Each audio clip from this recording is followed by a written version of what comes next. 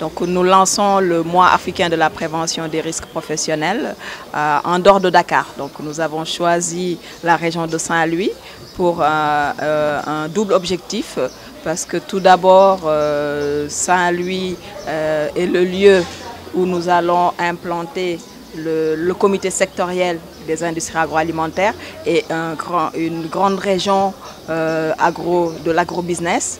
Donc en cette qualité-là, euh, Saint-Louis va abriter, le comité sectoriel national euh, des industries agroalimentaires en matière de prévention des risques professionnels de santé et sécurité au travail.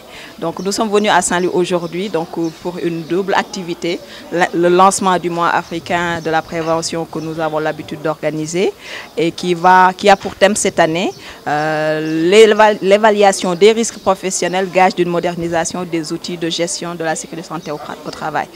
Et à travers ce thème-là, nous allons discuter entre autres de la relation entre les entreprises euh, prestataires et les entreprises euh, utilisatrices de main-d'œuvre sur la gestion de la sécurité santé au travail et que nous trouvons que les agrobusiness utilisent beaucoup de personnel d'entreprises prestataires. Donc nous allons pouvoir parler de toutes ces questions.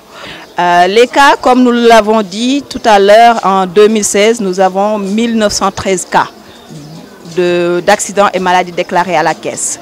Euh, donc les causes sont multiples et variées. Hein. donc comme les secteurs d'activité sont multiples et variés, comme j'ai eu à, le dire tantôt, pour le secteur agroalimentaire, donc où nous faisons le focus aujourd'hui, nous avons pas moins de 20,39% de ces déclarations, de ces accidents et maladies qui relève du secteur de l'agro-industrie. Donc ce qui n'est pas négligeable, même si donc euh, l'agroalimentaire assure la deuxième place, et bien la deuxième place, on va dire.